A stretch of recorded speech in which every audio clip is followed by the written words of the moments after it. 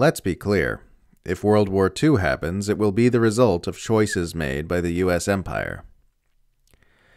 The commander of the U.S. nuclear arsenal has stated unequivocally that the war in Ukraine is just a warm up exercise for a much larger conflict that's already in the mail. Anti War's Dave DeCamp reports quote, The commander that oversees U.S. nuclear forces delivered an ominous warning at a naval conference last week by calling the war in Ukraine a warm up for the big one that is to come. This Ukraine crisis that we're in right now, this is just the warm up, said Navy Admiral Charles Richard, the commander of U.S. Strategic Command. The big one is coming, and it isn't going to be very long before we're going to get tested in ways we haven't been tested in a long time. Richard's warning came after the U.S. released its Nuclear Posture Review, which reaffirms that the U.S. doctrine allows for the use of the first use of nuclear weapons.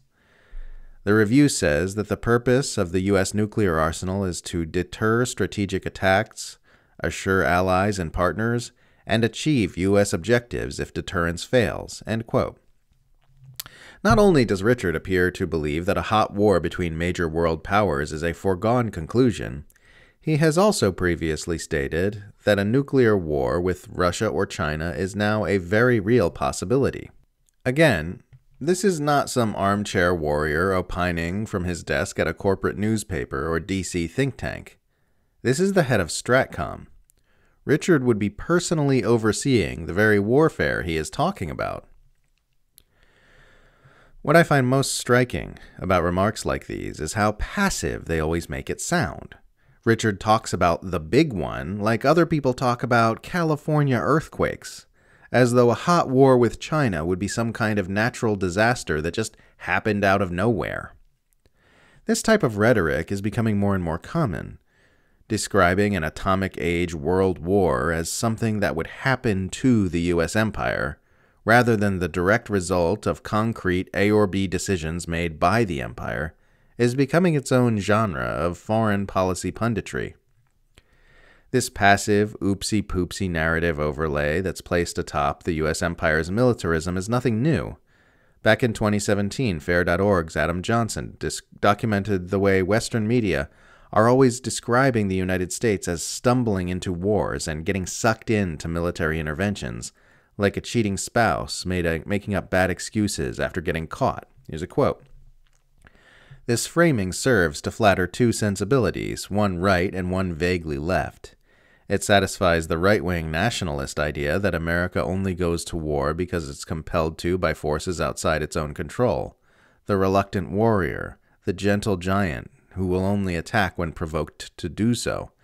But it also plays to a nominally liberal hipster notion that the U.S. military is actually incompetent and boobish, and is generally bad at war making.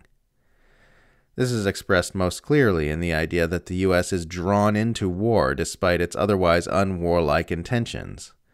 Will the U.S. be drawn further into Syrian civil war? asks Fox News in 2017, April.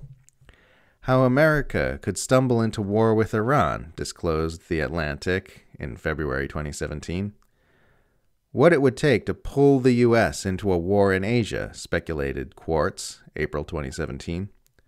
Trump could easily get us sucked into Afghanistan again, Slate predicted in May of 2017.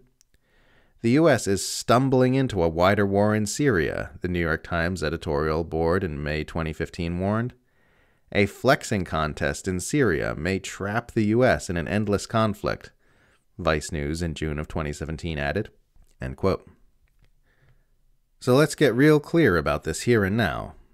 If there is a hot war between the US and a major power, it will not be because that war was stumbled into. It will not be like an earthquake or other natural disaster. It will not be something that happens to or is inflicted upon the US empire while it just passively stands there in Bambi eyed innocence. It will be the result of specific choices made by the managers of empire. It will be the result of the US choosing escalation over de escalation brinkmanship over detente, not just once, but over and over again, while declining off ramp after off ramp. It will be the result of real material decisions made by real people who live in real houses while collecting real material paychecks to make the choices they are making. Another thing that strikes me about comments like those made by Charles Richard is how freakish and insane it is that everyone doesn't respond to them with, Okay, well, then let's change all the things we are doing because that's the worst thing that can possibly happen. And make no mistake, that absolutely is an option. The option to turn away from the collision course with potentially the most horrific war of all time is available right now, and it will remain available for some time into the future. This isn't 1939 when war is already upon us. If anything, it's more like the early 20th century precursors to World War I and all the stupid aggressions and entanglements which ultimately gave rise to both world wars. One of the many ways our cultural fascination with World War II has made us stupid and crazy is that it has caused us to forget that it was the single worst event in human history. Even if a hot war with Russia and or China didn't go nuclear, it would still unleash unspeakable horrors upon this earth, which would reverberate throughout our collective consciousness for generations. That horror should be turned away from, and the time to start turning is now.